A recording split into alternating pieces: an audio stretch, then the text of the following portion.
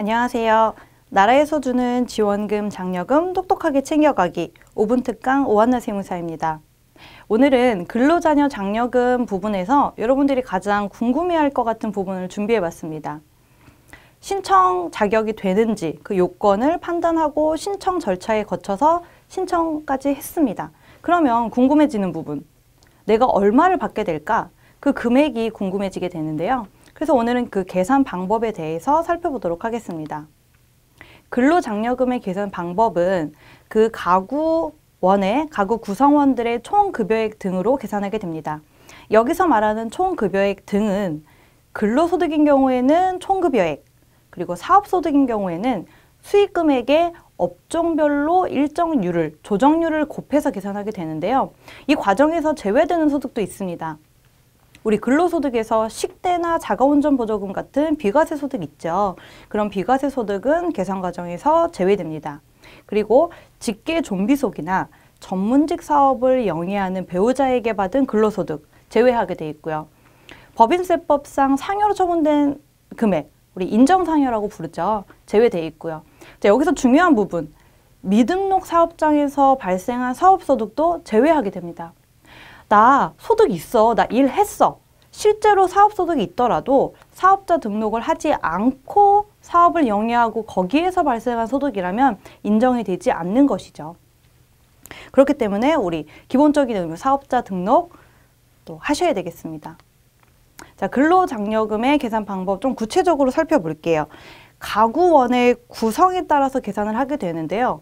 단독 가구, 헛벌이 가구, 맞벌이 가구 각각 나누어서 계산을 하게 됩니다. 각각의 가구에서 최대 지급액을 정해놓고 있는데요. 각각 85만 원, 200만 원, 250만 원으로 정해져 있습니다. 이 이상은 받으실 수가 없는 것이고요. 총 급여액 등의 금액에 따라서 구간이 나눠져 있어요. 각 가구별로.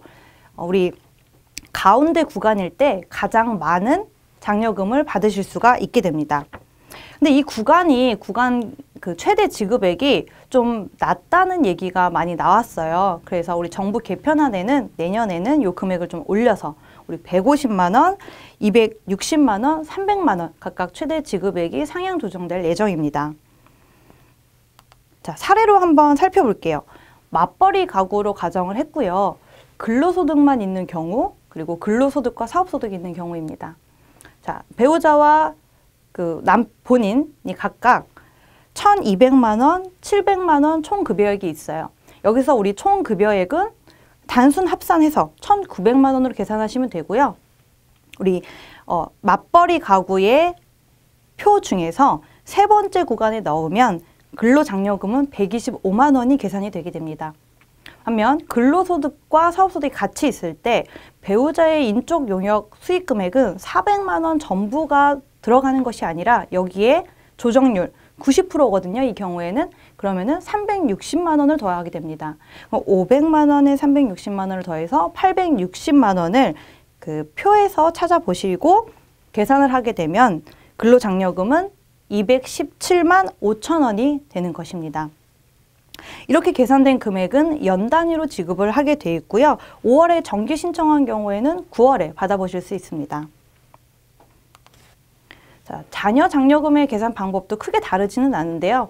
부양 자녀 수를 차등해서 지급하게 됩니다. 부양 자녀가 많을수록 지급은 더 많이 받게 되시는 거고요. 최대 지급액은 50만 원입니다. 자, 오늘은 근로자녀 장려금 그 구체적인 계산 방법에 대해서 알아봤습니다. 5분 특강 오한나 세무사였습니다.